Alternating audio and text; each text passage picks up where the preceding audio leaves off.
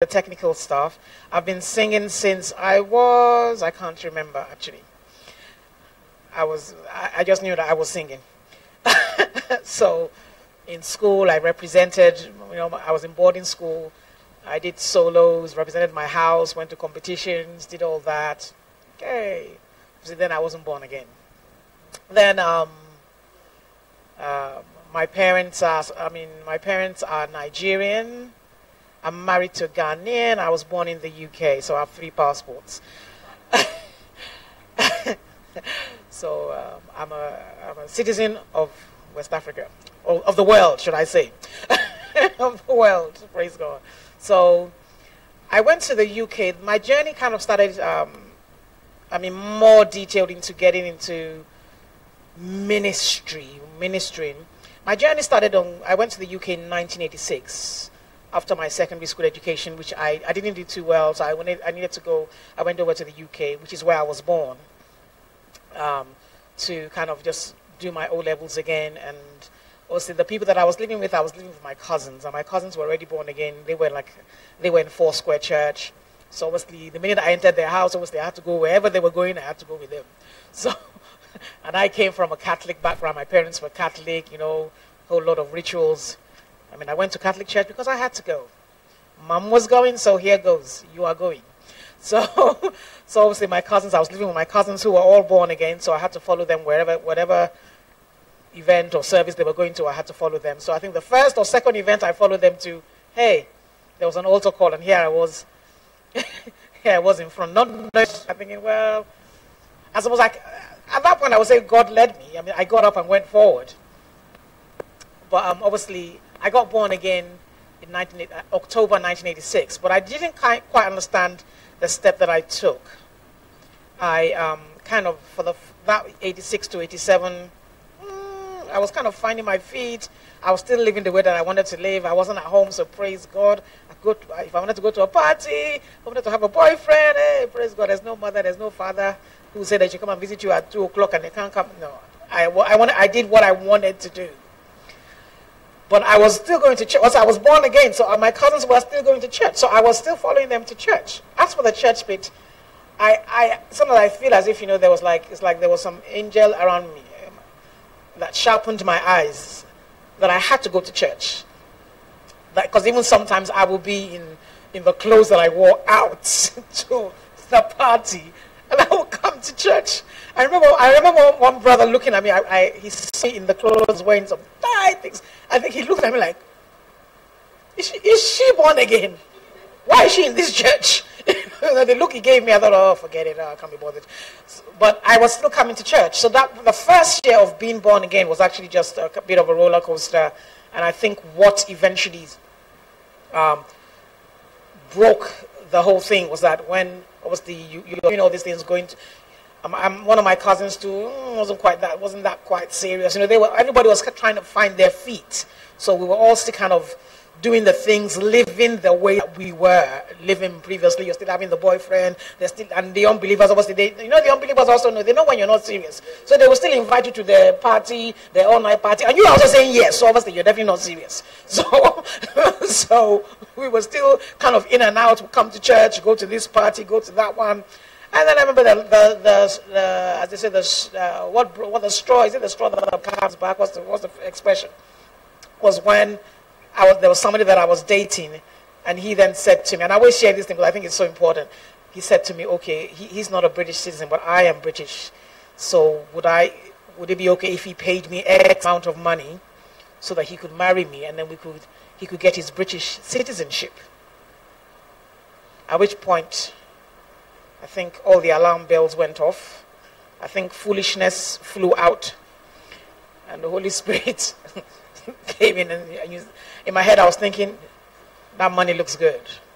I can see my bare apartment, or our bare apartment, chairs, things that I can buy, chairs, furniture over there, a better bed, a better mattress. Because the apartment that we were living in was just, the living room was bare. there was nothing, just a carpet. Even though we were in London, praise God we had beds to sleep on, and that was about the bit of comfort that we had. But our living room we had was just bare, it was just a carpet. And when he mentioned the money in my head, I could see, I saw things. that could be bought. But then at the same time, I, could, I just saw red flags. The Holy Spirit said, no, no, no. The Holy Spirit said to me, I remember the expression the Holy Spirit said was, he said, he said to me, it's an apple with a worm on the inside. And that it looks nice on the outside, but you are going to bite into it. And you're going to discover that now that you have bitten into it, you have to continue eating it. But what is inside, you don't actually like. So I, I still remember where I was. I was standing in a phone booth. In those days, we didn't have mobile phones. You had to go to a phone booth and make uh, uh, phone booths on the roadside and just make a call. So I was in the red, you know, the typical red London phone booth. I was standing in that phone booth, and this guy was telling me all these things. And I thought, no, this is the end. No. In my head, my, I said, no, this is not happening. I said, no, I, um, I can't do that. I can't do that, and I'm, I'm not going to. Let's just, let's just end it right there, because I can't continue and do this. And that's how I ended. And I, and I believe for me, that, for me, that was the turning point in my relationship with God. Then I, then I, I then began to seek God actively, look, you know, looking into scripture, studying the word, you know, following. I mean, even though, I mean, I must say the church that I was in, which is still the church that I'm in, KICC, or my, my pastor is still the same pastor. I must say word that he was preaching every time, you know, those words used to come and they, those words will haunt you. You know, you, you preach a message, it's like, mm, pastor? In your head, the man is, he, the Holy Spirit is talking to you through the man. He's, he's talking to you and he's, He's pushing you to fall in love, to, to be, um, he's pushing you, the, the, the messages were pushing you to be um, hungry, that's the word, and thirsty for God, do more for God. So I believe, even though I was kind of doing my own thing, you know, sometimes you're doing your own thing, but the messages that are going on, and that's what happened to me, the messages that are going on around you, and sometimes people think that it's not getting in, but it's getting in. That's why I say never give up on people. Never give up on people because you might think they are not listening, but they are listening. But that's what I found that the messages were sinking. I was there. I wasn't kind of doing what I was supposed to be doing. I wasn't living how I should be living. But I found that in those times when, when, when, that, when I was confronted with the situation, I found that everything was flooding back to me that no, you can't do this. You have to live for God. And I, so I, I started taking things more seriously. And I found that it was, it was almost interesting because it was almost at a certain point in time whereby myself and some other um, young people in the church also started deciding that we, did, we no longer felt, because we used to have this thing where there were a lot of parties. Some of the people were, they were not unbelievers, they were Christians. But then the people who will come to the party, they were a mix of Christians and unbelievers, and you know that that mix is not going to work. Something, somebody is going to give, give in somewhere. Everybody might not give in, but somebody's going to give in. So, what's the point of setting up a platform for somebody else to fall? So, at the same point, a lot of about four or five of the young people, which also included my, which also included my husband, who, who wasn't my husband then, we there was a, like a decision in our minds that when we got the invite for the next party, it was like, you know, when, when, when your spirit loses interest in certain activity, it was as if God just put that desire in there that He took away the desire to want to go to certain kind of places. So I remember with the, I still remember the invite for the last one. I remember saying, I think my cousins also said, well, we don't actually need to, um, we're not going for this one. We do, uh, uh not, I'm not interested. What's going to happen there? So we found that uh, there was a point in our lives, that this was like 1987 going to 88, that no, our, our, our desires were turning somewhere else, and that was towards God. And some of the things that used to interest us, which we used to find exciting, we wanted to be there, we, we didn't want to be part of it anymore. So we just, so I just, I mean, from there I just continued, and that was after, afterwards, I think my, my, my, my I remember my cousin introducing, mentioning to my pastor, Pastor Matthew, and she said, oh, my cousin, she can really sing, she can really, really sing. She needs to be, she needs to be in the team, in the, uh, part of the team of singers. So that's how I kind of joined, I started singing. We had what we called the K, we, it was, actually then it was the Four Square, we're in Four Square Church and it was the four square, what was it, band and singers or something like that. And we started singing in church. Actually, Pastor Matthew would teach us the songs. We sing it because he plays, he used to play um, guitar. He would teach us songs. And that's kind of how I got um, singing in church. So I started from there, singing, not even leading worship, just singing in church. We'll sing a song. Pastor Matthew wants to sing a song. We'll sing just very simple, simple songs that we'll sing in church, on and off. And then as time began, we started, you know, um, I remember when Pastor Matthew said that he wanted me to join, be one of the worship leaders. Actually, even before that, I used to lead worship in, where was I leading? How many people was I leading? I was leading, I was leading five people in worship. That's when my worship leading started. I, I led five people in a cell, home cell. And I did that for a while. Then my husband was in charge of, you know, the um, organizing the prayer, uh, the all-night prayer meetings for the church, and, he, and, then he got some of us to say, okay, why don't we let's lead worship for the all-night prayer meeting? Then I started leading worship at the all-night prayer meeting, which was like 100 people, maybe 50, 80 people leading worship there. And then eventually my pastor, actually, Pastor Matthew, then said, oh, he wanted me to join the, the I mean, by this time there were loads of worship, other worship leaders, and then he said he wanted me to be part of the worship leaders for Sunday service, which for me was like, wow, that is big. I mean, in my heart already, and in my heart already, there was already desire. I already had a desire in my heart, and already, I already had an anger in my spirit against the way that people used to stand and stare in worship. And I, I, I used to tell my cousin, why are they standing there staring? Don't they know who they're singing about? Don't they know what they're talking about? Why are they singing like there's no life? You know, I, there was a in in my spirit. There was always that. I couldn't stand people just they're leading worship and you're like, you know, people are standing there staring, looking, picking their nose, scratching their head, picking their. I'm thinking, in my head. I mean, I was I wasn't that old in the faith, but in my mind, it's not. Isn't God a lot more than this? I mean, I don't know too many scriptures, but I think God is a lot more than you this. If I'm singing to Him, then I might as well sing with everything that is in me. So that's as uh, a journey, and I believe that it was God that put that desire in my heart um, that began a journey of, you know, seeking God and, and even some of the things that I learned, you know, leading worship. You know, there were things like, I mean, I saw them in books later and I thought, oh, well, well, well. Um, I think, thank you, Lord, you, you taught me that. Uh, maybe I need to write a book about what you taught me. Um, because there are things like, you know, when people ask, oh, do you prepare for a service? All these things I actually learned, you know, because I wanted to, because I wanted to give my best. So when, before I came for a service, even though I was leading five people, you know, I, I had a small list I had where was a little tiny sheet of paper. I had written something on there because I wanted to. I wanted to have something to say. No, I'm going to stand there doing um ah. Uh, no, uh, if it was two songs, I'm going to lead it for ten minutes. I had some two songs to lead the five people in worship with, or one song. I had something to start with. I I prepared. I never thought that it was something small or why they put him in front of five. For me, the five was actually a privilege. I was privileged to lead the five people in the cell group, and we had a fantastic time worshiping God um, just five of us, you know.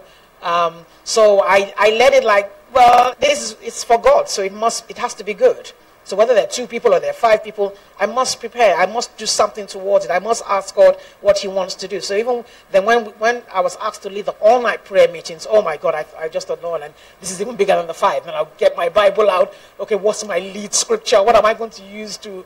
What's my lead scripture for tonight? There were days. I mean, I go back. I still have some of the Bibles go back and I see the notes that I wrote for an all-night prayer meeting next to the scripture. I have I, some of them. I wrote the dates. So when I look at it, I actually laugh and I think, "Wow, Lord, help me to continue like this."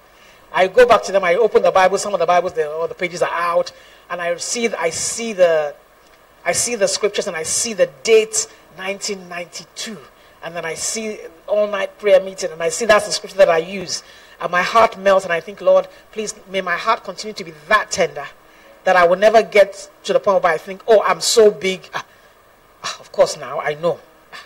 I know what needs to happen. Yeah, we're leading worship, isn't it? Ah, song number three, song number four, song number ten. Let's add it all together. Let's make sure the medley is, is, is flowing, is grooving, and uh, the people will be fine. No, no, no, no, no. So, I still catch myself and no, Helen, you can't do that. I catch and talk to myself. No, you can't. You've got to do the right way. You've got to seek God. So that, that so that that has that was my journey, and that was how that was how I started the journey when it comes to music, um, and then leading worship, and I and I until today. I mean, one of the scriptures that um, that was in that has been in my heart and that God has given me. I mean, I've had it since 19. I don't know since the 90s. It's the scripture that God gave me, and it's um, Psalm 40 verse 3 and it's always been the focus of my attention and what I want to happen, and I, I, I claim it as mine and I make it personal. He has put, and I'm reading the Amplified Version, He has put a new song in my mouth, a song of praise to our God. Many shall see and fear, revere and worship and put their trust and confident reliance in the Lord. So that was my confession that God, my mouth, my mouth must proclaim a new song. My mouth must proclaim your name. And the song that I sing is a song of praise, is a song of praise unto you. Every time I stand up to sing, may it be a song that causes people to praise you, a song that draws people to praise you. It's a song of praise unto God. And that many will hear the song, they will see, and they will reverence you. May everything that I open my mouth up to sing, may it draw people to reverence you and to put their confidence and trust in your name. That so whenever I stand, that is my that is the prayer that I pray that wherever I stand, Lord, let the song. I'm you know I, am not, which is why there are some songs that I cannot sing because they have no. Uh, they have no weight. They have no content. There's no weight.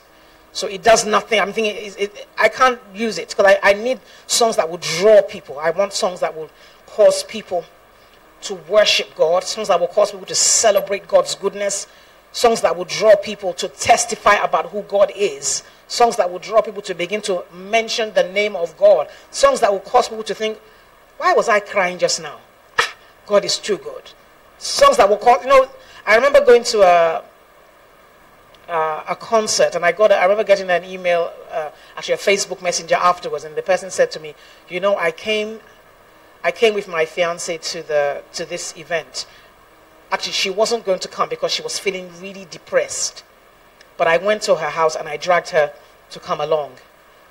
But I just wanted to say thank you very much for the songs that you sang because when she, by the time we left the place, actually she was, I couldn't believe it. My, that is what he is. I couldn't believe it myself. But she, her, her mood, everything about her had changed. And this was the person who did not want to leave the house. They were so depressed, they didn't want to leave home.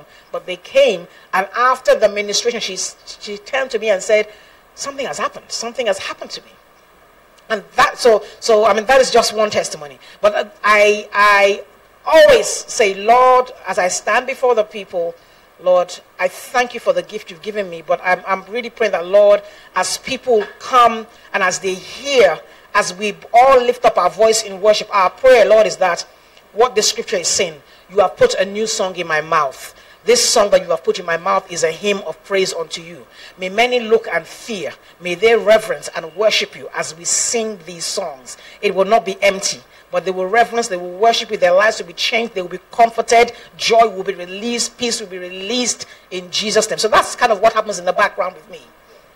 That's those are the things that I even on the day, and, it, and let me also say, it is not every day that you are feeling that you want to do what God is, like you like. Do I want to come here and sing? Do I want to come here and talk? Every day, you're not feeling like that every day, but you speak to yourself. That's what I found that you had to speak to yourself. The scripture says, casting down imaginations and every high thing that exalts above the knowledge of God. And for me, that's one of the things that I did to myself. I, I spoke to my spirit, and I cast when when there's doubt, you can't do it who do you think you are? You think you have it all together. There are other people there who can do it better than you. You know, you go somewhere and you're like, oh my God, look at the lineup. Oh Lord. People think, oh, Pastor Helen, oh, please. I, I thank God that God still makes me nervous, I, and I like it. I thank God that He still makes not should I say God, but there's in my in my spirit there's never there's never a thing like I know it all. Every time I stand up, I go on a stage, no matter who's like, I'm thinking, God help me. Lord, I've got butterflies in my stomach. I need some help. Help me to go there. Help me not to forget my words. think, what? Yeah. I get on stage and think, Lord, help me not to forget my words. Help me to be calm. Help me to do what you want. Help me to say what you want. Help me to, the ad libs that I'm going to say, Lord, give me ad libs that are going to draw people to yourself. Help me, Lord, to say exactly what you want to say. Somebody's here today. I don't know what's, what they're going through, but Lord, as I, I this song, Lord, this song is for you. The song is for you. Let it glorify you. And in turn, you will touch somebody's life. So that's, that's kind of my, what happens in the background, you know. So, I always pray that prayer. So from that time onwards, you know, working in, um, serving in church, and I'm still serving under the same pastor, Pastor Matthew Ashimolowo is still my pastor, still my spiritual father. I was there since I was 19. I'm now 50. I've, I've served with the same pastor. So um, So for me, and I learned a lot, you know, I learned a lot serving. I learned so much serving. I remember my first music director, who is actually now the CEO of KICC worldwide. Um, his name is Pastor Dipo. And Pastor Dipo, I mean, he was, he was like a, well, he was like a terrorist, you know. uh, you know, we think, oh, he will, you know, he, in the right way, he will push you. And the things that he was, he wasn't kind of your smiley, smiley pastor. You know, he was, he was straight to the point. No, you know, when he says get up and go and sing, you're not kind of looking. When he says this is what you're doing, that is what you're doing. There's no excuses. So I learned some of the things, you know, I learned from him, you know, he will push you. I mean, I remember there was, he gave me a song once. I, am just speaking my heart. Um, I remember him giving me a song, and I remember I, I, I didn't like the song. He said I should go and sing this song. I remember trying all my, the tricks in the book to see whether he will, after two weeks, he will give up on me and give the song to somebody else. I will tell him, Pastor, but this song, I'm not feeling it. The style, it's not. Helen, Helen, go and learn the song this is not good. And I'm thinking, oh, no, he says, no, you have to sing it. And I remember this song. I, I, mean, that was one of the songs that I, it's not a difficult song. I just didn't like the song. And I wasn't flowing, but I, but then I realized after, after, this was after six weeks with the same song. And he was not giving up on me. He said, I'm singing the song. Then I went and sat with the song and I dissected it. I began to, I said, no, I need to, this song, if Pastor Dipo says I should learn it, then it means that there's something that he's seeing that I'm not seeing. I remember sitting down with the song. I dissected the song till I, the song was in my bones. And I began to understand it because I felt, I think what I obviously, what happened was that I didn't really grasp the content of the song. And for me, I have, and from that, I learned that you have to understand. When you're singing a song, you must understand. You must dissect the song. What is the song talking about? What is the main theme of the song? What, you know, the meaning, and even the words. I look in the song, what are the words in the song? What do they mean? And what do they denote? Why am I singing? You know, I mean, basic songs. I always make a joke about the song. Uh, what's the song? It, it talks about bring forth the royal diadem and crown him all hail the power of Jesus' name. And I said, and I always joke about the fact that, you know, I mean, early years, if you ask me what a diadem was, I've not got a clue what a diadem is. Since nobody uses the word, I mean, who on earth uses the word diadem these days? I mean, nobody uses the word diadem. So, I mean, the first time I heard that song, I had to go and open a dictionary. What is a diadem? Because I'm not singing that song that says diadem, and I don't know what diadem means. So, bring forth the royal mm-mm-mm and crown him. What does that mean? I thought a crown maybe it means okay we should put something on it. But what what is what does a diadem denote? So so I'm I always so I just working with my music director Pastor Dick, he would know he would push you. So you had to understand what you were singing. And I would I would I always tell people when you go and look at the word up in a dictionary, it will not be written on your head that you went to look in the dictionary. Nobody would know. So look in the dictionary. Google it. Which is what I do. Google the word check the meaning. So I, I, so I learned to actually, when, when I was given a song that I went through, I looked through all the words. If I did not, there are even worship songs that if I didn't understand it at that point, I wouldn't add it to my list until I felt that I really had an understanding of what it actually meant and what it was supposed to be, uh, what it was supposed to denote and what I was supposed to be getting across to the people. What was the understanding that I'm trying to get across to the people? Because if I am leading them in worship and I don't understand, Scripture says we should worship him in spirit and in truth. Truth, scripture, and with sincerity. Integrity. So there's no integrity if I am singing a song that I don't understand. There's lack of integrity on my part right there. So I learned to actually dig into songs, look for that's why my love for definitions started. I started I, when I, and it, now when I'm when I'm preparing a message, I always look. I always define. I'm always looking for words, defining words, what things mean. Because for me, understanding for me was very important. That you had to understand what you're doing. If you're singing a song, you can't just be in a choir. You can't just lead a song and you don't understand. Told us to sing, so you're singing it. What does it mean? What is the message? What is the core message of the song? So these are the things that I, I began to pick up.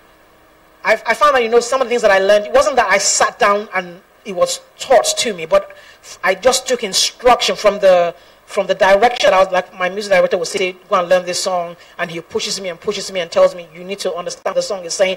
Then I know that, okay, there's, there's more to just me standing and singing. I must understand my message. What is the message? What is the theme? What is the focus? What is the scripture from which this song stands? So that's where I got to the point whereby if I'm going to sing, I will get a scripture what is the scripture that backs up this song? Is there, is it, is, I mean, I have to find as a word, as, a, as Jesus said, where is it written? When Jesus Christ was tempted, he said, it is written. So regarding the song, where is it written? Where is it written? You know, I think, uh, was it Jesus who said, in the volume of the books it is written? So, where is it written? in the where's where's the word that says this song should be sang? So and for me, I mean, it was a helpful journey because obviously when you're looking, um, though I'm looking for the scripture for a song, but also you then begin to. I found that I would find another scripture and cross-reference another scripture, and then I found I was actually it was like a little Bible study. So I actually enjoyed the whole process, even though it was just for a song. But I learned. I was as I was doing it, I was growing, I was learning as well. So I found a scripture and then I always used to find another song. I would find another song that said this, that had the same message. So whenever I was given a song, because I because well, I learned also I learned that because the days and when I first started singing, we, we, we, didn't necessarily have all the instrumentalists who could play all the songs that we wanted to sing.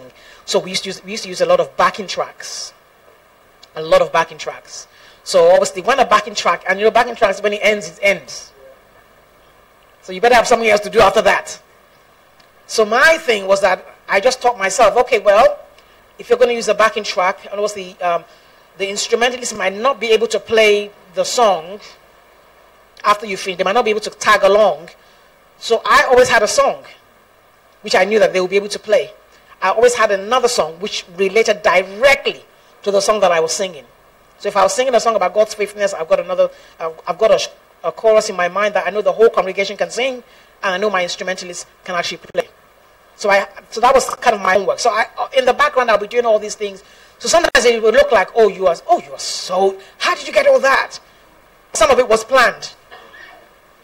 Yes, some of it was deliberate and planned because I, because I didn't want to. Well, after looking a bit foolish after a few ones, then you learn that, okay, well, you're not going to stand there looking, twiddling your thumbs, wondering what's happening next. I finished. Bye. Who's next? No, you can't. After a few, you know, even down to basic things like introducing a song. I remember my husband, he wasn't my husband then, he, and he would say to me, because I, cause I, I speak very fast, even now, that's another story, I'll come to that. I speak very fast, so when it comes to like maybe introducing songs, and, and also, I was also the sort of person who I just wanted to sing. That, that talking bit was just not my skill. So I wanted to get on the stage, sing the song, and get off. And then, and then he said to me, No, you can't just get up there, start singing. You have to say something. Which is what actually started my journey of looking for the scripture. Because I had to have something to say. And I'm not going to just, I, I'm not one who just talks, just be talking yap yap aimlessly. I said, Let me find, I've got to find something to say. So I, if I have a scripture, I'm safe. I won't be talking rubbish. Get a scripture, say it, even if you don't say nothing about it, just say the scripture and move to the song. It's something. So that, that was how my journey on even looking for the scriptures uh, as well started. So he would tell me, you have to introduce the song. So I, I had to learn how to introduce songs, bring some, whether it's 30 seconds of just saying something about the song and putting an expectation in the hearts of the people about what I was about to sing. And obviously, if you do not have an understanding of the song, you can't even talk about the song. If the song is not in your spirit, and I found that um, I, I, had to, I learned to take some of the songs as part of my devotion. Some of the songs that I was going to present became part of my devotion. So that if you are singing the song to God, there's no way that you're going to get on stage and you have nothing to say. There's no way that you're going to get, get stand before the congregation and you run out of ad libs. You don't run out because you you have worked the song before God. You and God have worked on the song. You've used it to worship Him. And the minute you've used the song, you it's in your time of devotion in your room. You know, gives, you, he gives you revelation about the song. He begins to open your eyes. Ah, that scripture. Oh, that's that line that you just sang. It's over there. Go and look for it in the scripture. That line that you just sang, it's from the psalm. Go and look for it. And then you go and look and think, wow, it's in here. Wow. And you begin to, and then so God is speaking to. Your time of preparation is not okay. And you'll be given a song, and we're singing it tomorrow. Let's, you know, your your your heart must be set on pleasing God, on honoring God, on giving God, on setting the best. What's the word? The best banquet the best buffet before God. you know you're not coming there thinking oh well it's going to be jollof and chicken you set up the best so you go you go and dig for the best and set it up before god this and then when, when, when you when you give god the best you'll be surprised what he does and i found that god does things even when you are not as prepared as you think i found days that I said, Lord, I'm so disappointed in myself. I've not done what I'm supposed to do. I should have done this. I should have done this. And on that day, you get up there, and the Holy Spirit is like, forget what you haven't done. Let's go. I see your, where your heart is. Let's go. You get up there, and you come off, you're like, ha. Lord, now that was something, because I know me. I did nothing. my preparation, whatever I thought I prepared was zero in comparison to what you just did.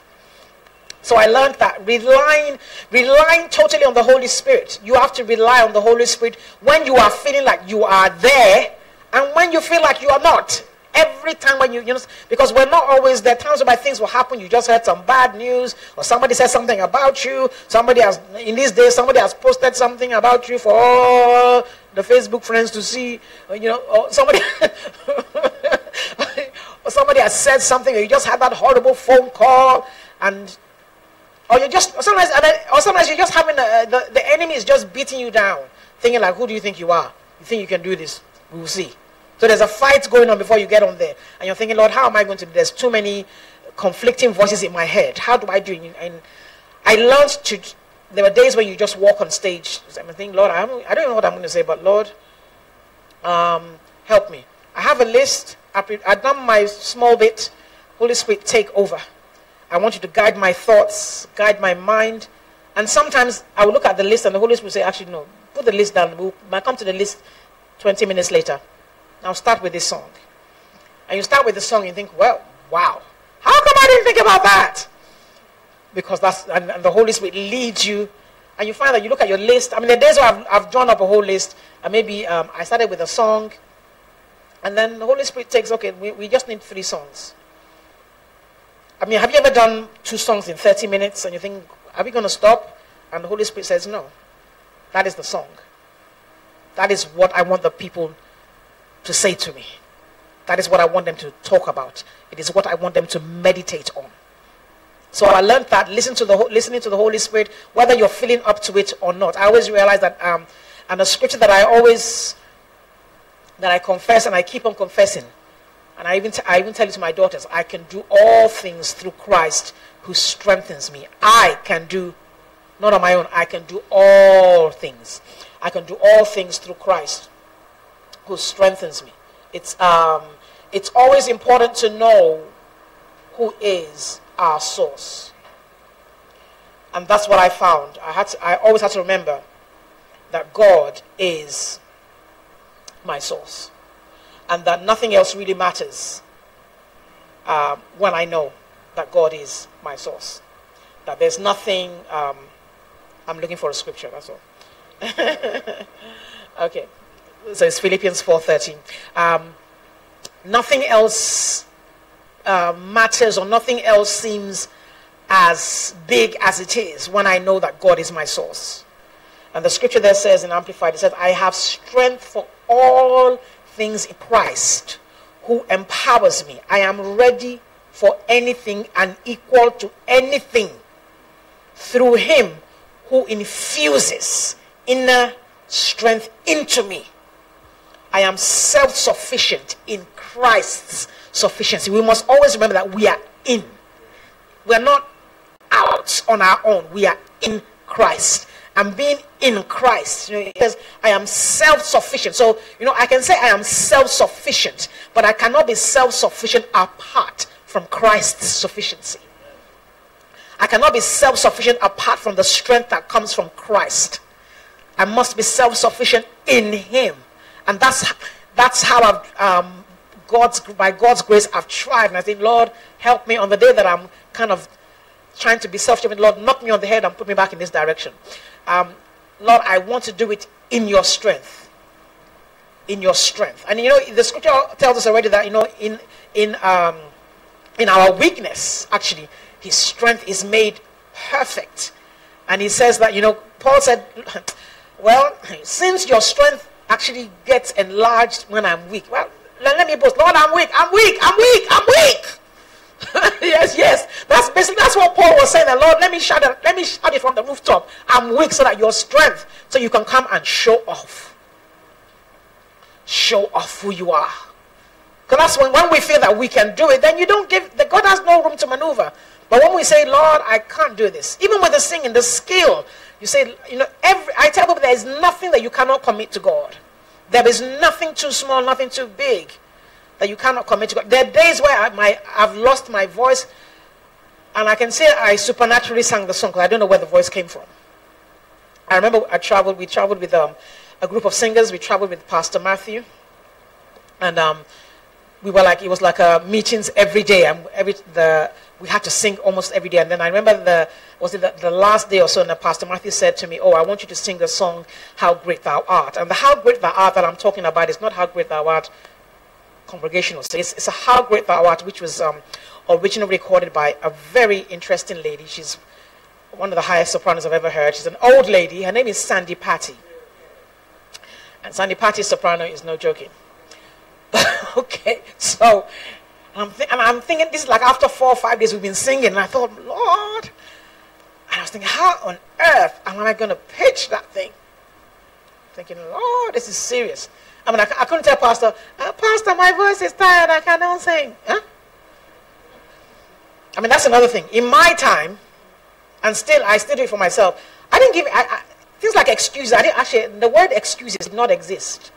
Well, in my brain, they didn't. If I was given an assignment, my, I think there's so many things going on. if I was given an assignment, you run, I you run with it. What is it? When are we going to do it? I'll come to that. I'm going to come. I need to come back to that assignment page. But the song, I mean, I took the song and I said, "Well, you got to help me because I the pitch. I normally sing this song and I normally pitch it, but Lord, today my voice is tired. I've been singing for about five days and the voice is tired. And I just said, Lord, I just rehearsed normally and I just said, okay, I've rehearsed. Lord, help me. I remember when I got up there and started singing, and I was thinking, you know, a singer, song like you're doing the song, you're like you are anticipating that place where the voice is going to crack at this point. So let me just dive under the notes before it cracks. Let me go under, and then I'll come up at the top again where it's more comfortable. but I was singing, and I, thought, and I just said, let's just go for it. Holy Spirit, help me. And I, I remember singing, "Oh, yeah, Jesus, so there was a party, there was a party going on in my head while I was standing there. And then and it came through. So there are times where some of it, some of it is supernatural. If you allow God to take you that way. So talking about so listen to the Holy Spirit, talking about assignments.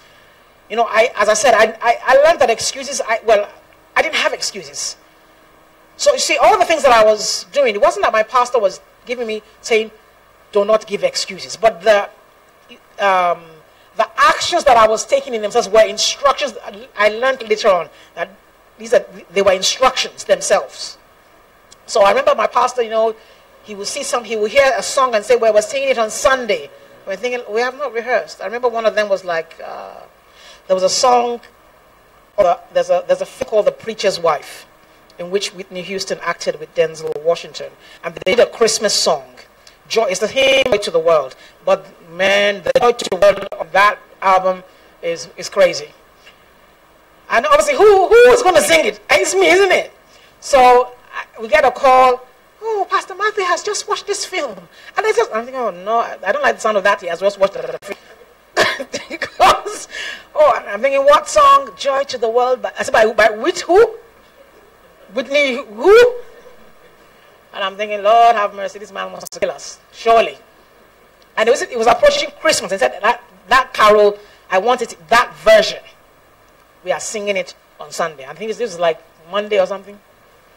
So here, first, first of all, we didn't have a track. So first of all, we we're running all over London trying to find this track. Where are we going to get the track? That wasn't time of Google. We could just Google or go on YouTube. There was no YouTube to be checking on. So we had to go and look which was there in a shop that had the backing, the soundtrack to the movie, so we can find that particular song. Eventually, we found it. I think then we started rehearsing. I mean, I remember sitting up all night, sitting there, going through all the lyrics, learning the whole thing. I mean, Joy to the World never, never proved so difficult before. But this was not Joy to the World as usual. So, so I remember sitting up there, rehearsing this thing. We had to go on Sunday. Then we said, okay, we'll do as much as we can, but we had to present the song. There was no excuse like, Pastor. Joy to the world. Christmas is only going to come once. So it has to be sung this Christmas, not next Christmas, this Christmas, which was four days away. So here we were. Even all of us, musicians, everybody had to get their act together. And whether you thought you could play or not, better start playing in your dreams. get in your room, start rehearsing that song. And we all got together and we did the song. So all of these things were, it wasn't that, he said, well, this is what happens when you are given a song. Make sure you go and practice it. No, they were just actions that I took there were actions that I took that we, it wasn't like, you know, you will grumble a bit and mm, why are they giving us, but then you, you get up and you pushed yourself and you find that you actually got it done. So I found that it can be done. So I told myself, well, it actually can be done. Though I don't like the experience of the pressure that I'm under to get it done. But I found that actually the pressure helped because I learned a lot of things that I wouldn't have learned. I mean, I'll sit up, I'll sit up and learn, learn a song, go through a song, you know, and I think, well, okay, well, it, it was good practice because I learned a lot of different things. So sometimes you'll be under pressure. And it's because God wants to bring the best out of you. Never ever think, well, eh, why are they getting me to sing the song? Why is, he only me? Why, why, why, why? Stop, stop whining. Stop complaining. I tell people, did you ask God you want to be used? Well, here he is, he's using you. Be used and be used very well. So, that prayer that you prayed, Lord, use me. Use me, Jesus. What was that song? Uh, I surrender. Here it is. Yeah, uh, I give myself. Well, self, here you are. Now give yourself away and stop complaining. Some songs you shouldn't sing it. If you don't want, it's the truth. If you don't want God, I, I was. Whenever you sing a song, just remember that the assignment is waiting. So when you say you're giving yourself away, eh, heaven heard your confession, and they have packaged a suitcase with assignments. She has given herself away. So here, here is what she has given herself away to. Here it is. They will deliver it to your doorstep. And what you have given yourself away to might not look like what you were imagining. It might be something to do with your character. But God has to deal with. God will put that sister who steps on your toe every day because you have anger issues. And you are called a minstrel but you are a very angry minstrel. So God will put Abba there and she will make you angry. Well, well. And God will see whether you are going to give yourself away to Him so that He can use you, as the song says. So that He can tame that character, tame that anger, and teach you how to deal with it. Or whether you are going to walk out of the choir and leave the church. It's the truth. So be careful what you sing. Because the angels are waiting to deliver assignments for every song that you sing. I surrender. Well, that's what I, I found. I mean, that, that, was just my personal. I found that that's, that was what was happening. That the minute you, all these songs are prayers. They are not empty. Don't see them. Oh, we're just we're just singing this song. No, you are making a confession. You are saying something. You are sending. You are telling heaven something. You are telling heaven something. So I learned, you know, how to getting rid of excuses. There were no more excuses. I remember once, I remember once, oh, I was so angry. I'm, I'm just sharing my, we're not perfect. I was so angry because my pastor had given us this assignment.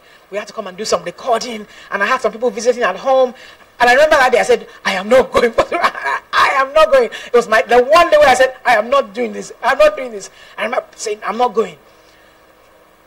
You know those things you you just said, I'm not going.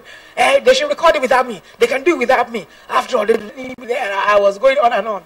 I remember my pastor, Helen, Helen. I'm thinking, oh God. Where are you? I'm thinking, I'm at home. Get a taxi and come over. We are waiting for you to do the recording. I'm thinking, oh! I mean, I, but I knew that God was saying, hell, this is what I called you to do. You cannot run away from the assignment that I've given you. Now get out of the house, get in the taxi, and go and record the song. As directed by your pastor, I was fuming. I got there, I was swollen up, angry, standing there. I still remember walking in. I'm thinking, in my head, I'm thinking, what is wrong with you? Oh, so I got there. I mean, the minute, the minute I started, because I, I could not sing the song without, I could not have even sung the song without anger. The minute I opened my mouth to sing the song, I think the Holy Spirit just wipe it all out and let the right spirit flow. So I've learned is so I'm saying I'm I'm sharing that with you because it's not that I'm perfect or I got it right all the time. No, there were days where I think, no, I, I, I've had enough. I don't want to sing it. Why don't they give us two weeks? Why are they not giving us one month to learn a song? Why are we always being pushed to learn? Why? The Holy Spirit said, just shut up, learn the song, get on with it. I'm thinking this is not fair. It's not fair. It's not fair. but by which time the Holy Spirit has kept quiet and is not answering you anymore. So either get up and do it or you disobey. So I've learned, you know, I've, I've learned how to just, you know, what, what does God want? And, and I always think of what is the end result? What does God want to happen? What is God looking for? There are results in people's lives that I, I cannot, I cannot, you know, I could not have paid to get that kind of result. I mean, the, the, what, what, what can I give for somebody's soul? People, somebody comes and says, well, I walked into church and you were the one leading worship. I was not born again, but I stayed in church for five weeks and then I got born again because I had to come for the worship. What do you do with that? And then I'm whining that my pastor gave me the song, and I, uh, at that point, I just think, oh Lord, how many songs do you want me to sing? Five? Here I am, Lord, bring them, bring them. You know, when you hear what people, because sometimes people don't come up to you and tell you, but once in a while, some people come because God wants you to know that it's not about you. That ministry is not about you, but it's about Him. And when you have a relationship with God, when you are talking with God regularly, when you are speaking with Him, when you are studying His Word, He will drop things in your heart and He will guide you and He will lead you and He will cause what you do to stand out. I always pray to God, Lord, I don't want to be like everybody else. I said, I want my voice to be unique. I don't want to be like everybody else. We all have a voice, but Lord, you've got to make you've got to make my I said, Lord, mark me out. Put your mark on me. Mark me out. I don't want to be like everybody else. Mark me out. Let when I stand, Lord, let there be something that, you know, there's something different. And I say, well, whenever I stand before people, I want them to be jealous. Jealous till they get to you. Jealous till they are running to you. Jealous till they are saying, I want what she has. I, I, want, I want them to be jealous. So these are some of the prayers I pray. I said, Lord, make them jealous to the point that the person gets on their knees, the person pursues and says, Lord, I want you, I need you. So I, those are the kind of, you know, so I pray some very, those are the interesting prayers that I pray. Make them jealous. May the song that I sing haunt them till they are worshiping. Those are the kind of prayers I pray. I Say, Lord, haunt them. You know when something is haunting you, you, you're going everywhere you go, the thing is following you. It's just, it's just you can't get, you can't shake it off. And I say, Lord, when I sing, Lord. Let, let them be singing in day one. Ah, that song. Day two. I can't stop singing that song. Day three. I cannot stop singing this song. So that so that, that those are the kind of um, prayers that I pray. So if you have, you know, I always say people, if you have no relationship with God, it's very difficult to do what we do without a relationship with God. It's easy to sing. It's easy to sing and especially if you are skilled, wow, you can do a whole lot. You can do a whole lot with your voice. Because the, the voice is one of the, it's a, it's a phenomenal instrument. And you can do a whole lot with your voice, which is why we see how the world has been swayed by music and by singers just by one note. That's Just one. Mm, hey, somebody's, somebody's, you know, all you need to do, hum, you know, you're, you're humming something. Mm-hmm. Mm-hmm.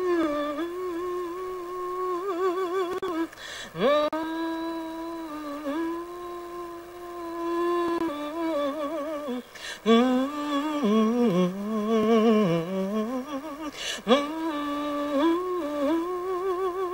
So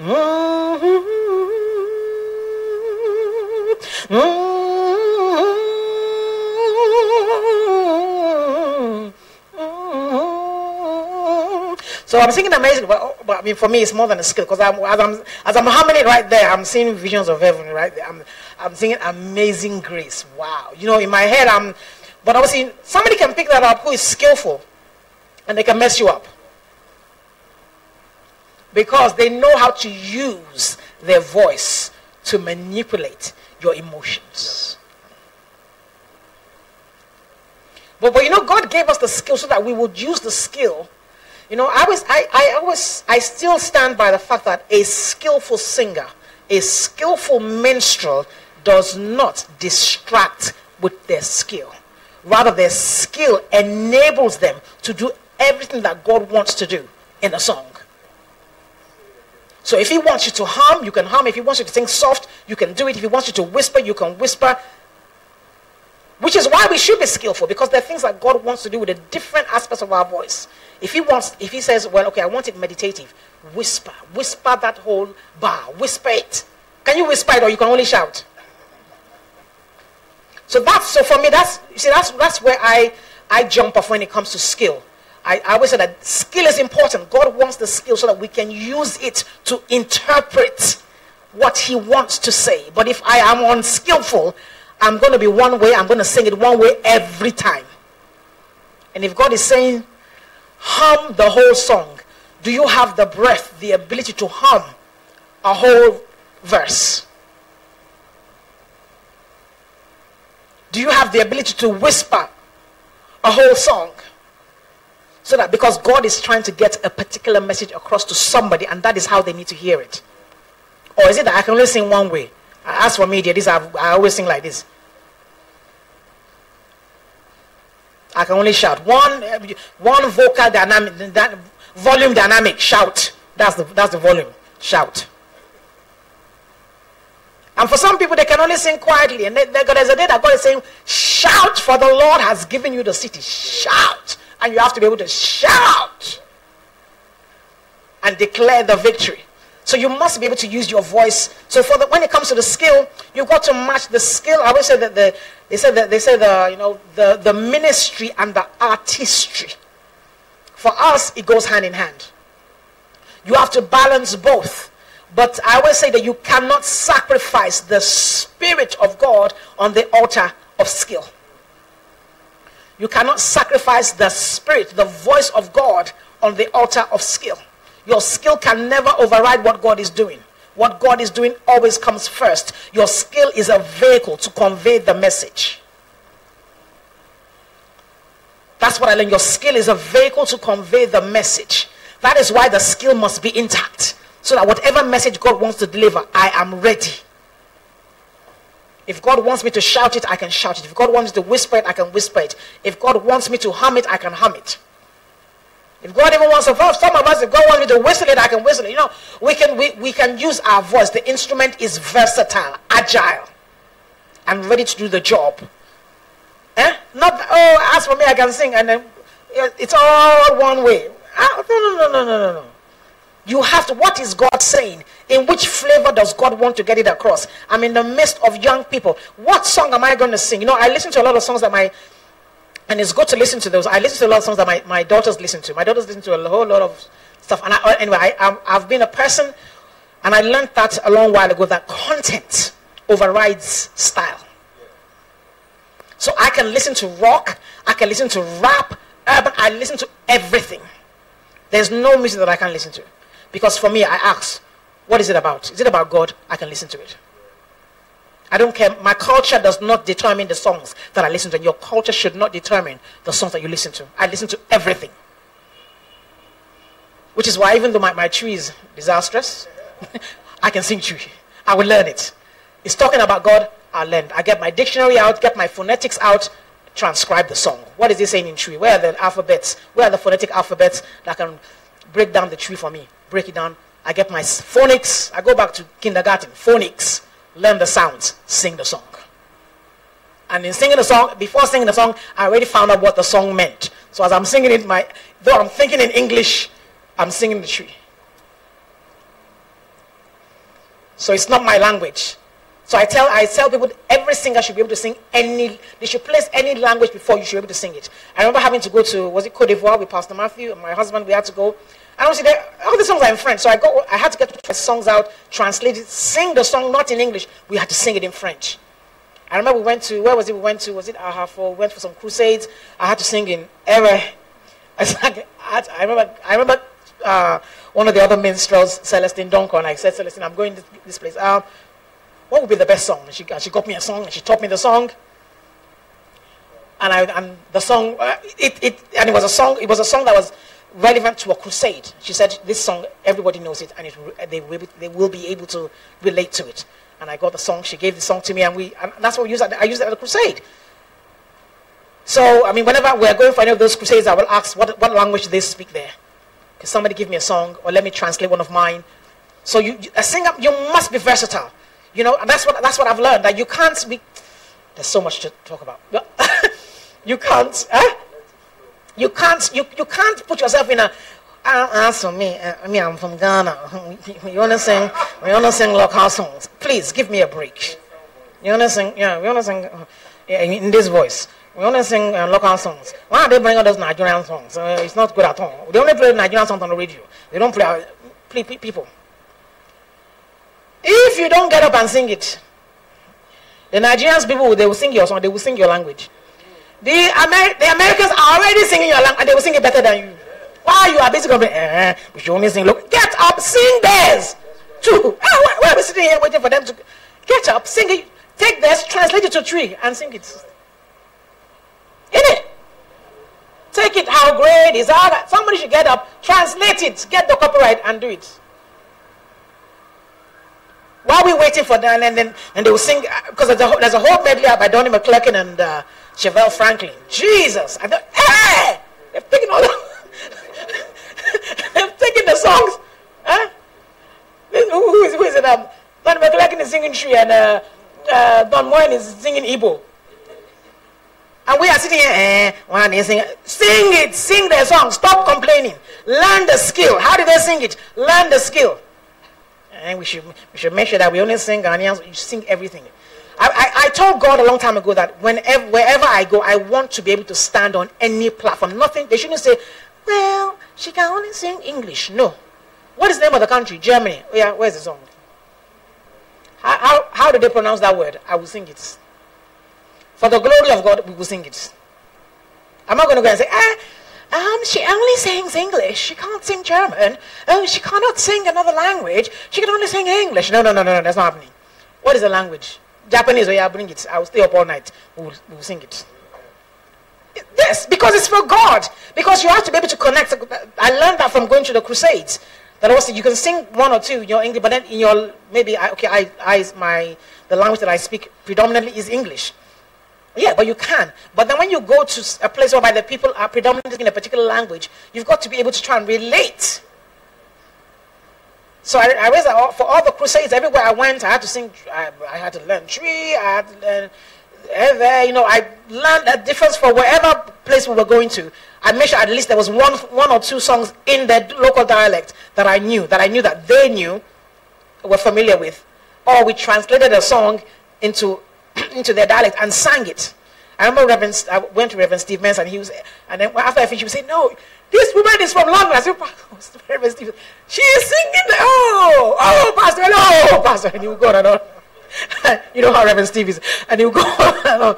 But I knew that I had to do that because I had to be able to relate to the people that I was with. So singers must be versatile. You must be able to sing anything. Don't limit yourself to, oh, as for me, eh, I only sing, eh, oh, as for those um, jumpy, jumpy things, eh, me, I sing slow songs. Eh. What's that? I remember once my pastor saying to me, he said to me, he said, Helen, um, you have to change, when I started leading worship, he said to me, Helen, you have to change your repertoire, as in the songs that you use. Because so far you've been singing one particular style. and you know for singers, they tell you that one, that one goes, the, the, the word goes into your something. deep, deep down, like, hey! So, so I, so, and, I, and it was from then on was that I decided I would sing rock, heavy metal, urban, rap. I had to learn that one too. Rap, I, we will sing it. So I, am just saying I, I, I began, I, the ones I listened to, I, I, and, I, and I realized that there was so much. I mean, just sitting down with my daughters, listening to some of urban, so like I listen to things like, I listen to people like um, Lecrae, Andy Mineo, you, listen to some of these guys, it's like, what? And the content of their, of their rap, Kai, you'll be worshiping right there. The content of the rap is like, wow, this needs to be a song. I wish I could sing it. When they tell you some of the stories, like, mm, the stories are so deep, you can feel that, now this guy was with God. You know, they, they, they were rapping, but the content is so rich. I could worship with that. I, I, I could leave some worship songs behind. I could worship with that. Sometimes you say, let's replay it. You know, when we're in the car, we put it loud, all of us.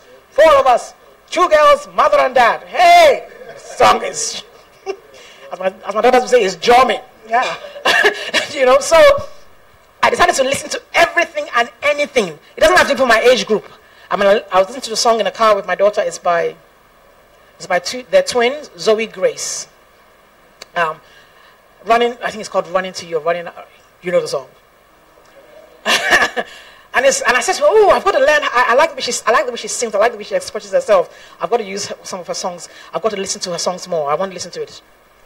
That's singers, you know, worshippers who are learning. We want to know God and we want to know how to use our skill to the to, to glorify him that wherever we stand, we stand out. Wherever we are, we stand out. Not that they're giving excuses for us. Ah, the Christian ones, they are coming. Mm-hmm.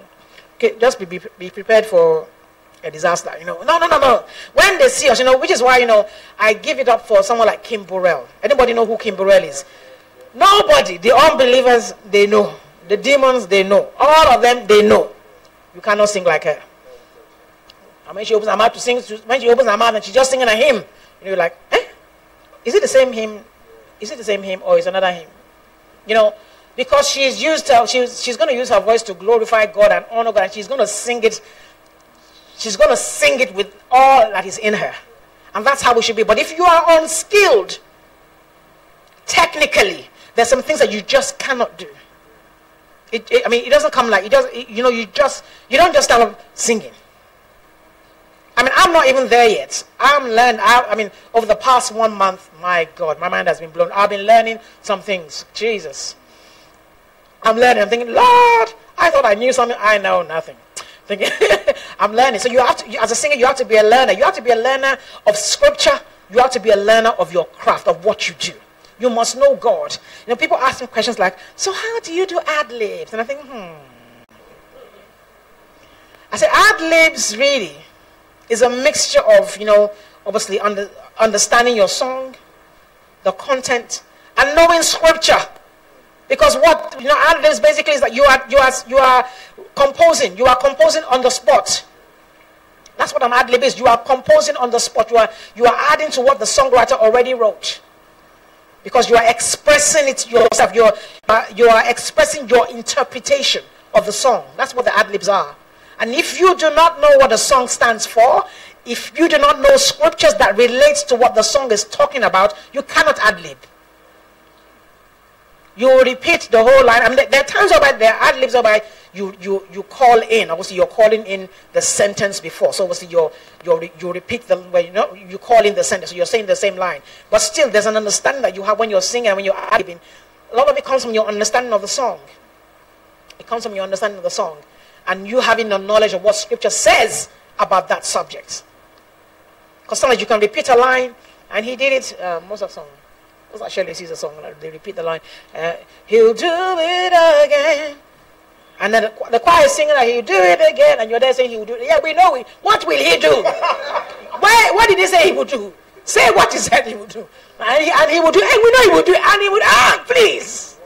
Ah! That's not something about. Which time my, my legs are shaking, my eyes are rolling.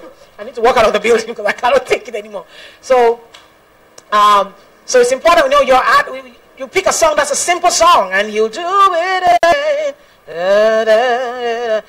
Don't you know good as a chain? The end. You may not know how. Then, then, they, then they, they repeat this line. You may not know how. You may, and the guy singing, you may not know how.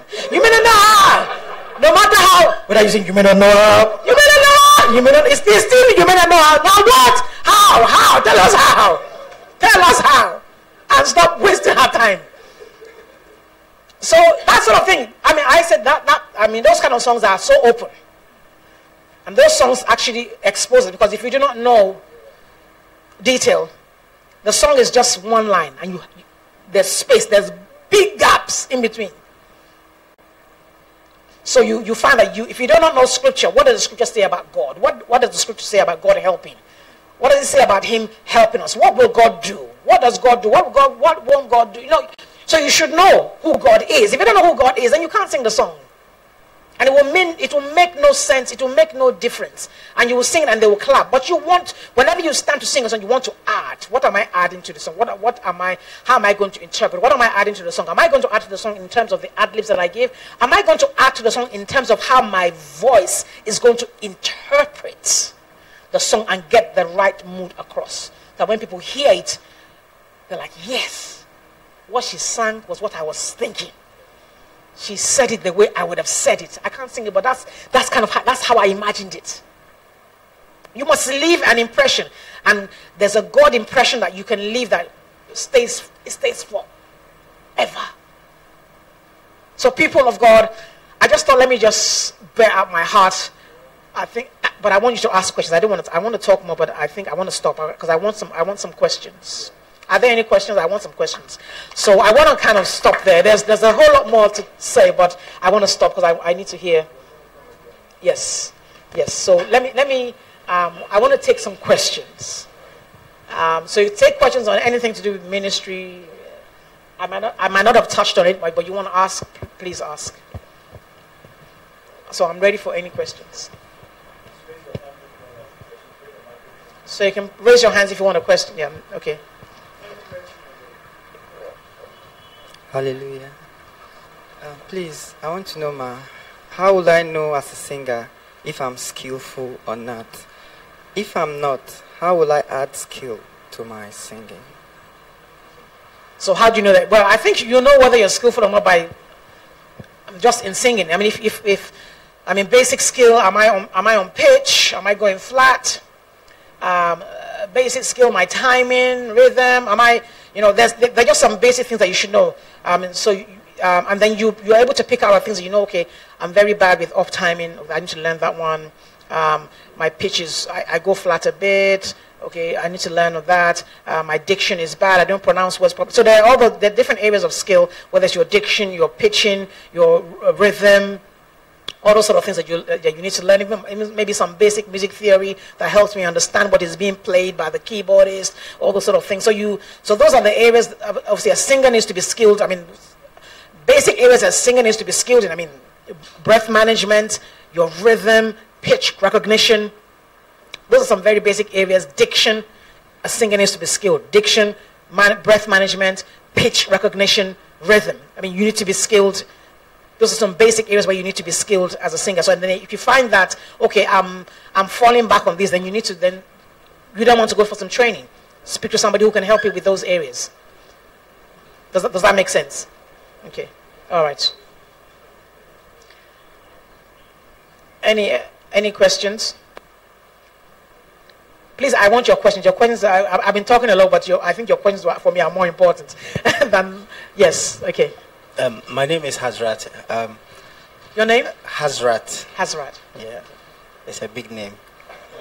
Anyway, um, I wanted to find out um, in your talk you, you, you made mention of learning and um, you, you said a lot. So I, I wanted to find out the relevance of reinventing yourself as a minstrel because I, I personally like you said, you learn rap, metal, rock. I mean, so basically, I'm looking at reinventing yourself. I mean, because the world is changing. uh, change is a constant factor that we have to accept. And if you want to, Paul said, I became all things to all people, so to win them to Christ. So if you want to get out there, how, how relevant is reinventing yourself as a minstrel? Well, I'm not. Uh, hmm. when you when you say reinvent, I, I assume you mean learning new things. Uh, yes, And, and adapting to change. adapting to change. Well, I mean, obviously, I mean, let, let me just. I'll give myself as an example. Obviously, I mean, um, my my voice is not. I mean, my voice is still the same voice, but obviously, I decide. I can decide that okay, I'm going to put it over certain kind of styles. Maybe I grew up singing. When I became a Christian, the music that I was introduced to was a lot of black gospel. So we sing, "Mm, Shirley Caesar, oh my God. You know, you be growling and so, but I found that, okay, I can sing that up to a point. But what I did is I, the skill that I used, that I found in there, I, I- there's a skill in there, okay, they're very expressive. I take that expressive bit and I can apply. If I sing it on my rock, if I take my rock music and I sing that, I'll be expressive in there. I'll put my growl in there. It fits perfectly. I don't have to sing it black gospel style, but I can sing it I, vocally. I can implant it into my rock. So it depends, Your different musical influences should be able to vocally. Some of them can fit anywhere. But we are the ones that have to be open to the different styles of music that are out there. We shouldn't say, I can't sing that or I can't sing this. We should, should try it out. And I say it also depends on what we are listening to. A lot of us are listening is very narrow. What we listen to is very, very narrow. And it informs even the things that you hear. I mean, the notes, the notes that I hear, I hear in my head, I hear those. Mm. Or when I hear in a song, I hear someone, I, let's rewind that. Rewind that. So you, you have to be a, a continuous learner to even think of reinventing. I mean, you want, I mean, if you're not learning, don't, you know, the word reinvent will not even come back to your mind. But when you are learning, you find that, look, actually, I can sing that. So that's what I found. When, when, when my pastor made that comment about the black, about me being very, I mean, what he was saying was, I, it was very black. I was doing, as in black American. And I wasn't, I wasn't listening to other things. And I, I, I went out of the box. I listened to people who were doing heavy metal. And I found, ah, that guy has a message. That, guy, that guy's song, it's correct. you know, even though the style was like, mm, it was foreign to me to listen to somebody doing heavy metal. I thought, no, what, what he's saying is right. He was banging his head and doing all that, but the song that he was singing was right.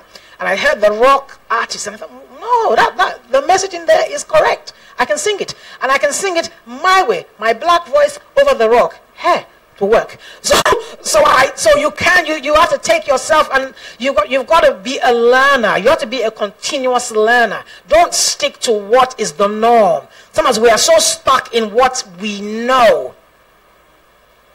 Because I had to even go, I had to go and dig because I, I remember when I was younger, I listened to, my father had collections of songs, white people, all kinds of people. So, so I used to, in the car, and used to play them in the car, going to school. So I used to be, I used to learn, oh, I'm just in the car, I would learn them in my head. So when he puts them on, I'll sing along, I'll sing along. I sing all, indigenous, there were some indigenous songs in Nigeria that nobody's even heard. I sang it. I don't know what I was singing, what they were singing, but they were singing something. Yes, I just started singing it. And, that's, and, and that particular indigenous um, tribe, um, which is my father's tribe, they, they actually sing a lot of minor notes. And I, I'm just, I, so I was just singing I learned from so that so some of those things I started picking from them afterwards. Ah, that one pick from there. So you you have to listen wide, and gospel music has a wide variety, but you have to look for it. If you don't look for it, you're not going to find it. That's what I found. If you don't look, you don't find. So um, singers, we have to be continuous learners. You have to we have to learn because this is God gave us a gift. We're not to go and bury the gift. We're supposed to get out there and find out. So what, what are they singing today? What are young people listening to today? What are the old people want to hear? What, what, how, how can I, this is a hymn. How can I contemporize this hymn? And so the generation that is, my generation can listen to it. Or the younger generation can listen. What can I do? How can I rearrange this hymn? What can I do vocally? How can I rearrange my vocals to fit into this style? You know, you, you've, you've, you've got to be, we've got to be continuous learners. And that's, and God expects us to be continuous learners. You know, when, when the Bible says that we should study to show ourselves approved, a workman that needs not be ashamed, rightly dividing the word of truth, it's not that wasn't just a one-time process of that when I, I do it, I do it, I do the Bible study today, then I, I've learned everything. No, every day you are studying. You are studying because you want to know more about God. The same way with the skill that God has given us. We must be learners. You know, I tell people that we have the best of times. You know, if you've got Google, I tell people, Google it. You don't even need to go and buy it nowhere. Get on there. Google music styles. Listen, gospel, different gospel. Listen, listen to the different styles. Put your voice on it. Sing along. Some of us we don't do nothing till we get to choir rehearsal. Ha! Please, you can't do that. You can't do that. Oh, I'm going. Ah. Oh, the song they gave us last week. Did you listen to it? Oh, it was on the WhatsApp platform. Oh, I didn't get. Come on. You're, you're a singer. You're an instrumentist, and you not listen to nothing. Then you need to be sacked. It's the truth. Yes, you'll be sacked. Because if we were paying you, we would have sacked you a long time ago.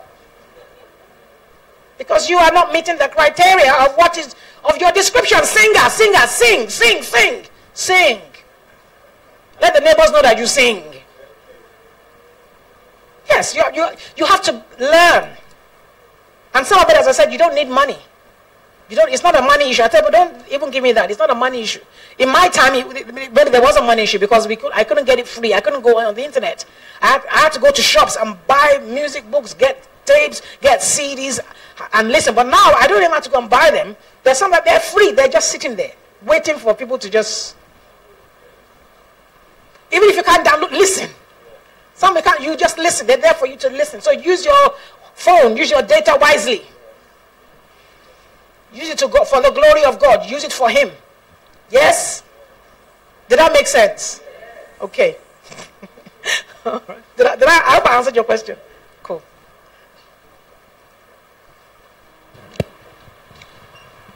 Thank you.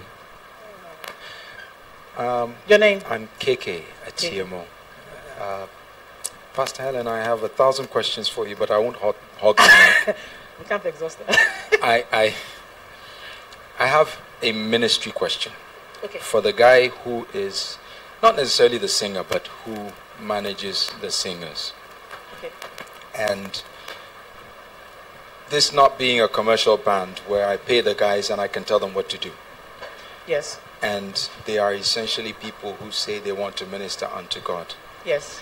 And we came out here, and most of them should have been here if they were serious because they want to learn, and nobody shows up but they all want to show up and sing tomorrow on stage. Where do I draw the line between the disciplinarian and the encourager, the builder, the minister? That's one.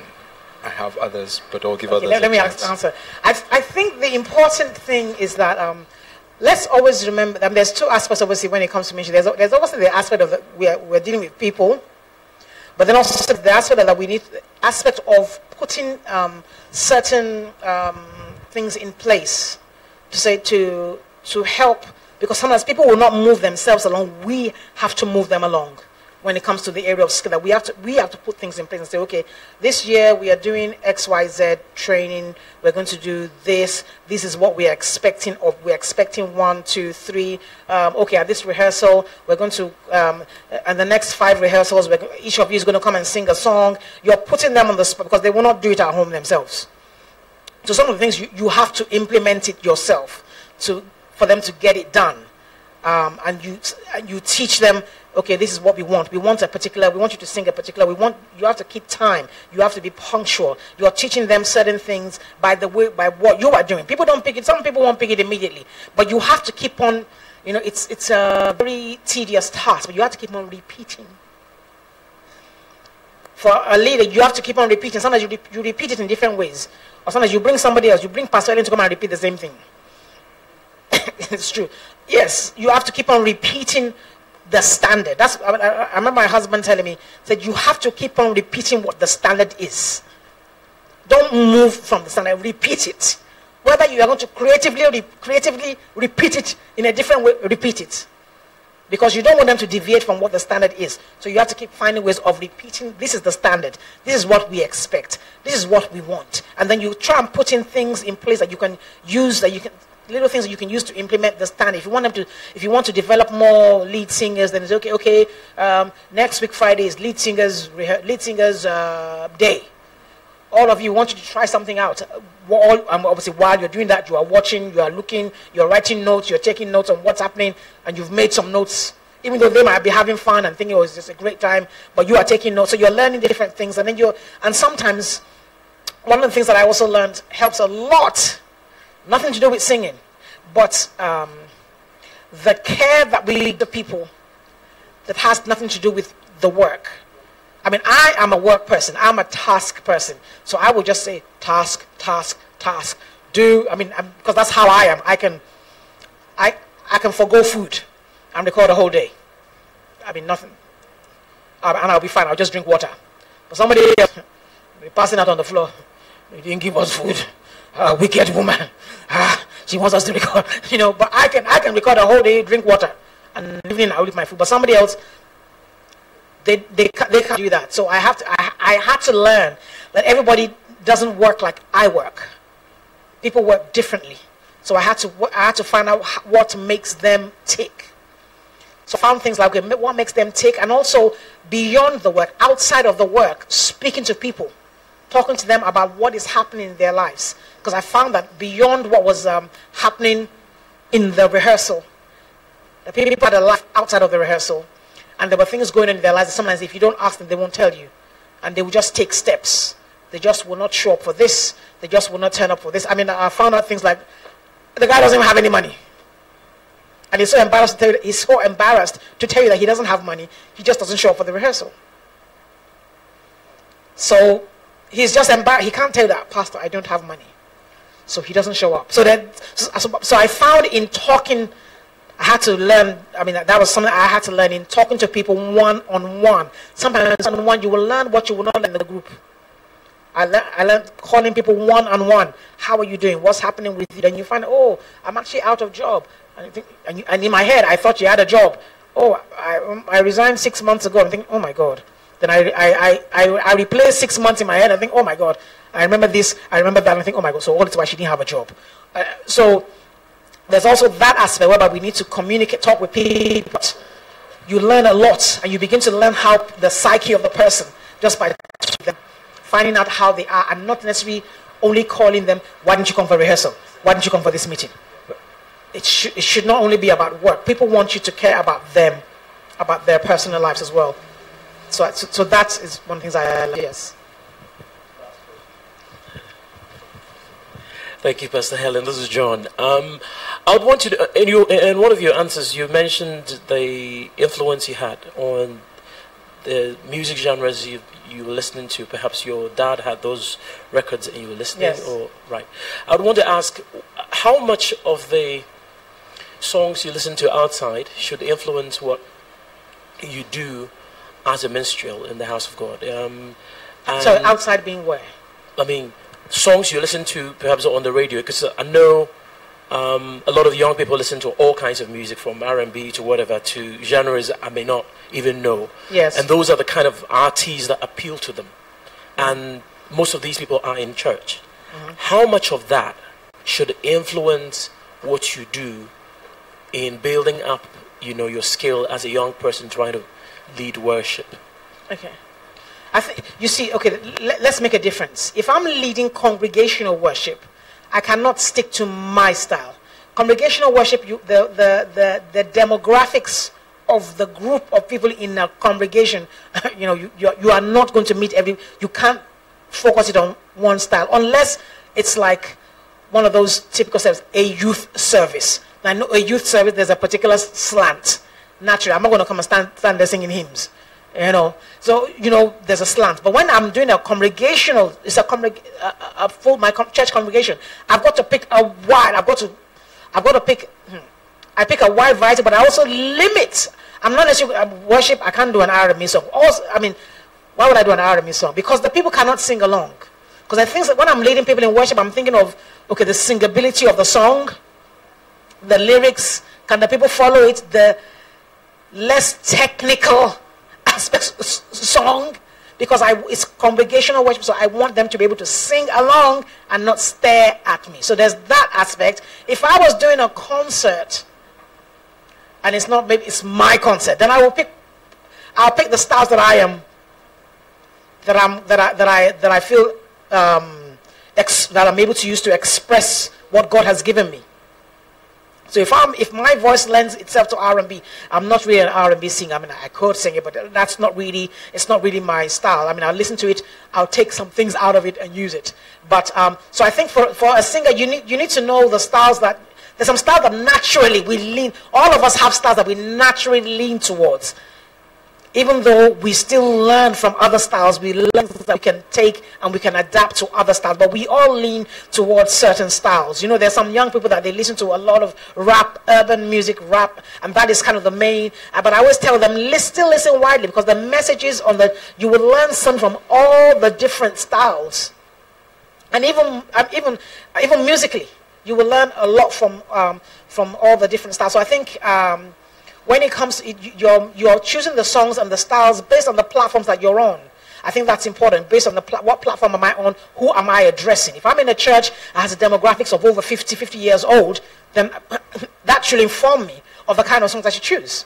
If I have a demographics of 25 to 35, then I know that, okay, well, these guys are not going to be listening to mm, what they call those um, crying songs, more, more, more those lamenting songs. you know, they're not going to listen to. I don't need that. You know, so there's a certain age, and if I'm in a, if I'm in a congregation whereby the the predominant language is not English, even then, so the you have to be sensitive to where you are and the congregation that you're ministering to. Because I always tell people that the aim at the end of the day and the question I should ask myself is, did we worship? If we didn't worship because I wanted to impose my style on everybody and they were all staring at me, then I've lost the purpose for the day. If the, the people couldn't speak English and I was busy speaking English and they didn't understand what I was talking about, then I've lost the, I've not allowed the people to worship. So it's always important to um, look at the, the demographics of the congregation, the audience that you're addressing is always important. Does, does, does, did that make sense? Cool.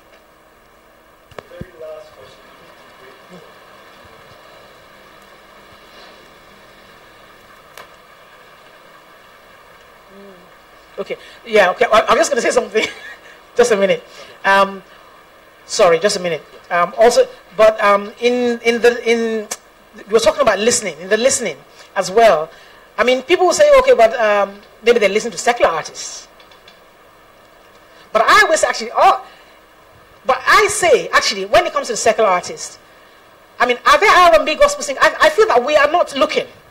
That's what I found. I mean, when my daughters started listening to um, urban gospel music. I mean, I couldn't believe the variety of songs that were actually. I, I thought, what? I didn't even know all these actually all these songs actually existed.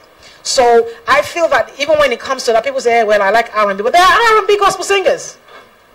So it's for me. It's, it tells me what is it that you really want to hear, because the R&B, the notes R&B, the notes are all the same, whether it's a gospel singer or a secular singer.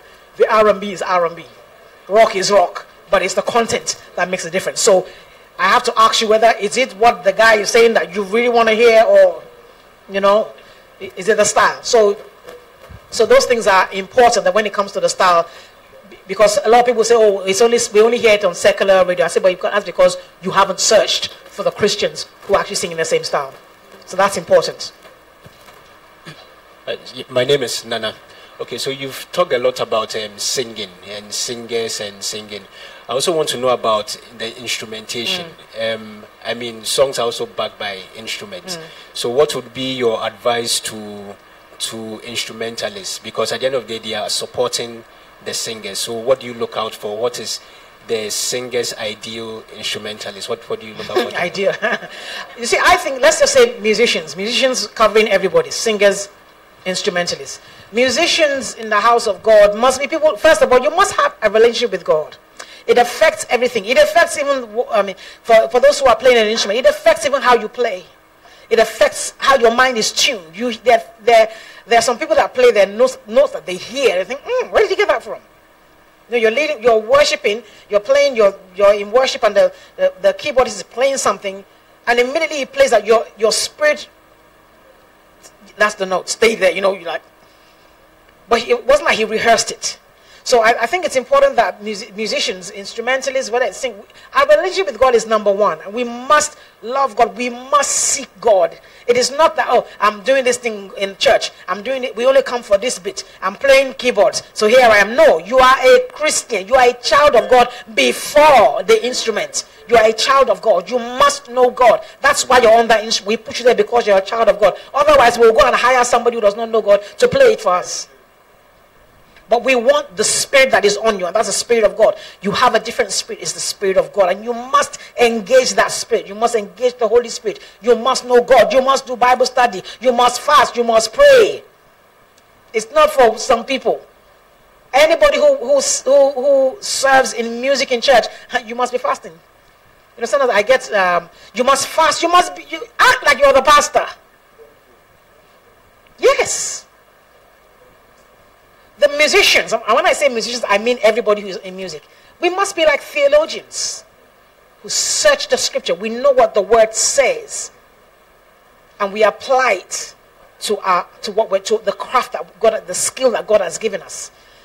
So the, the, the commitment to the work, the commitment to your skill is the same. We cannot have um, instrumentalists in the house who think, well, I mean, as for me, I'm just here to play the keyboards. When they finish playing, they go and stand in the go and stand under the tree and have a discussion about the last football match. You are there, you are there to serve and you are there to receive. You are part of the service. You have to learn something. You came to church, you came for the service, you have to learn something. And all those, what you're learning in church, what you are learning in the house of God, is informing the input that you are bringing. It affects even that you talk, the way that you relate to your pastor, the way that you relate to each other, all these things. But if you're not growing, and I'm an instrumentalist, you got your drumsticks attached, carrying your guitar, you know, everybody see that. As for me, there, I did some, you know. No, no, no, no, no, no. You have, you're, you're a Christian. You must know God. The same way that we are expecting, we are expecting the pastor to see God. We expect you. You are the most visible in the church. Your deacons don't get to stand on stage. You are on stage. Your deacons, your ministers do not get. How many of your deacons in your church stand on, on, on the platform every Sunday and say something? We are the ones saying something every Sunday. Us. And then you want to you want to just stand there, play keyboard. No, you must know God. Let the Holy Spirit be speaking to you while you're sitting there. Receive instruction from the word. Practice the word. Live it out. You'll find that our music will be different. The level of our music will, will, will go higher because the, are things that the Holy Spirit downloads into your mind. You're standing there sometimes as a vocalist. I'm, you know, it's like I'm seeing colors. And then if, if I then have a man who is on the keyboard, a man or woman on the keyboard who is not in tune with God and who is unskillful, spiritually and technically, then they cannot interpret, even if I sing it, they, they, they will interpret nothing. They'll be looking at me like, ah, what? Next song, this is not what, this is not what we rehearsed. But sometimes the Holy Spirit doesn't kind of cancels our rehearsal out. So I think they, so there's the for the, what what I'm saying applies to both. What I've said so far. I mean, obviously I'm a singer, so obviously I talk a lot to singers. But what I what I've said so far applies to both people who sing and play instruments. The commitment that we are seeking is the same. Our relationship with God must be intact, must be strong. We must pursue God, and we must put God first. And it shouldn't be an issue whereby with the instrumentalists whereby there's become a fight. Eh, the pastor is getting paid. How come we are not getting paid? Okay, but, but, but the assignment I should give is that if you, in Jesus' name, prepare as hard as the pastor, maybe you get paid. Do everything, do everything, all the preparation the pastor does, he paid for, he fasted and prayed the whole week. He stayed up all night before before before Sunday. He prayed. Ah, if you go and try some of it and God will pay you. We okay. Let me. I don't want to go there. Let me not go there. Okay. not go there. But I'll keep on talking. Pastor Helen, there's a last question. It was online, okay. but uh, to save time, uh, for those of us who came, there are some forms we left on your seats. Two things. If this is your first time, being a part of this meeting, please fill out both the registration and the what's the other thing? And the feedback form. But if you've been here before, you can forget about the registration, but please fill out the feedback form for us. John, what's the question again, the online question? God and ministering to man. The difference between ministering to God and ministering to man. Okay, I, I don't think that um, I, we're not necessarily um, called, I won't say we're called to minister to man, we are called to worship God. I mean, scripture always says, sing unto the Lord, shout unto the Lord, bless the Lord. So everything that we are doing is unto God. God is the one that ministers to the man. And I must prepare myself as a vessel that God will use to minister to the man, but I must minister to God. God is the audience that I must aim to please. Not that I'm aiming to please the people. Oh, he, they like this. When I come, these people on this side, they like that fast song. Let me sing it. No, it's the, the, the, the, whenever you're preparing a list, you're preparing songs, worship, the aim is God. God is the one we're aiming to please. We always say there's one audience. Audience one, God. If God is not pleased, the people will not be blessed. God must be pleased with the offering that we are, we are, we are presenting. Amen. Okay. Let's put our hands together for Pastor Helen. Thank you so, so much. Um, we are going to take a short break because um, we're already behind time. She's going to lead us in, in worship. But we need to take a short break. She needs to take a breather. She's been speaking for almost two hours. And in the meantime, please fill out those forms for us and pass them to the end there will be some light refreshment for your patience. But please don't go wait behind and be a part. We'll be back by 5.30. We'll also take the opportunity to get our instruments um, set up. So thank you very much for being a part of this period. Please fill out the forms and then you'll be sorted out with the refreshment and we'll be back at 5.30. Thank you very much.